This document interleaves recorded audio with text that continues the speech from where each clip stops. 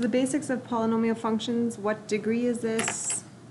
So because it is both going up, we know that it's even, and because it's a W shape, we know that it is a fourth degree.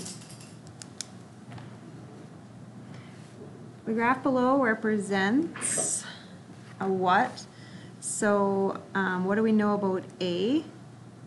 Well, this is a cubic, and because it's shaped like that, we know that A is negative. Given the graph, which is true? The polynomial has a fourth degree? No, because these go in opposite, so no. It's a third degree, so it could be either of these. What kind of leading coefficient does it have? It would be a negative coefficient. So it's a third degree with a negative coefficient.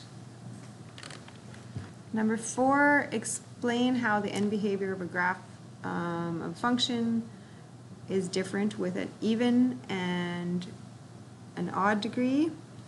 So even the ends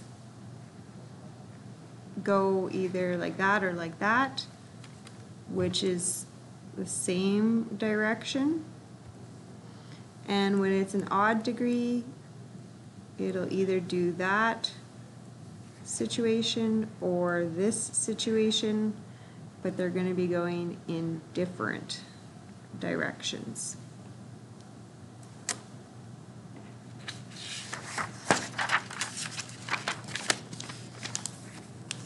What is the degree of this?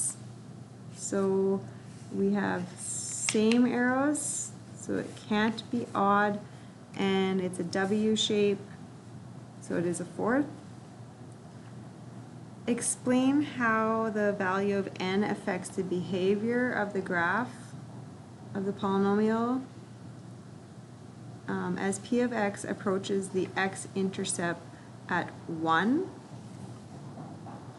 So um, if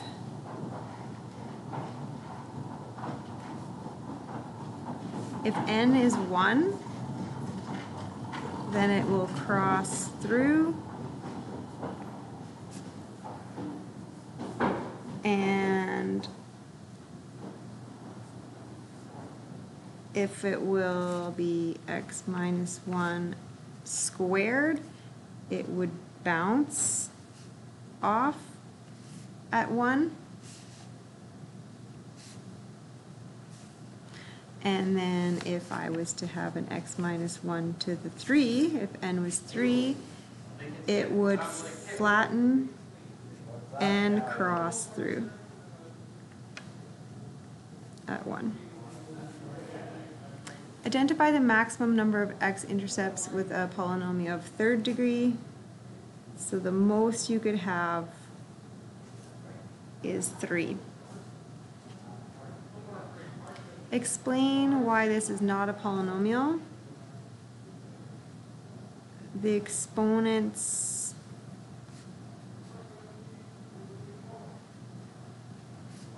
aren't whole numbers. Okay, you can't have an exponent of a half in a polynomial function. Number nine, describe a difference between these two graphs. So this is the same, this is the same. So this one is a negative coefficient and this one is a positive coefficient. So squared and 1 make a cubic. So this one versus this one. That's the difference in the end behavior. So the end goes from that versus that. So the end behavior would be different. Okay, so you can talk about um, going from positive infinity to negative infinity versus negative infinity towards positive infinity. describing the relationships between the zeros of this functions and the roots and the x-intercepts, okay, that all means the same thing. So the x-intercepts, for instance, this would be a negative three, and this would be a one half. And then if I was to solve this, it would be x equals one half and x equals negative three. Okay, they're all the same numbers. They all mean the same thing. State a possible value of n if you want this to have a range from zero to infinity. Okay, so if I want that, I'm thinking I'm gonna have to bounce so that I'm only going from zero to up. So in other words, this will have to be even. So I'm going to put that as a two. So p of x equals x minus one squared and x plus two squared. And then that would create bounce off of each one. And now my range goes from zero to infinite. Okay, so two equals n. Brian was asked to state the zeros of this polynomial and his response was this. What is his error?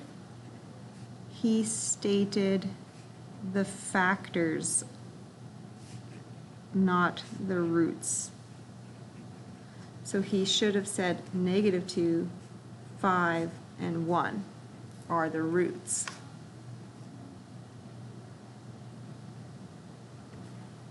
So he was mixing up what a root was or what a factor was. Describe the end behavior of this. So it's an x cubed, all the degrees put together, and there's a negative in the front. So it will look like that. So if you want to describe it, it goes from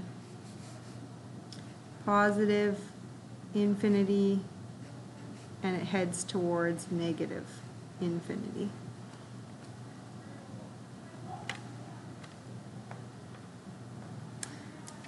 Identify which is a polynomial. So this is not with the half. This is not, and this is not. They have to have whole number exponents. So it's A.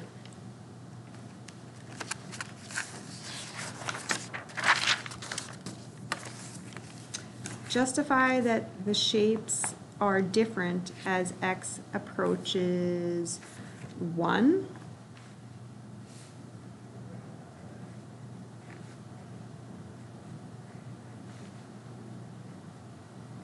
So at that, because the exponent is 1, it's going to cross through.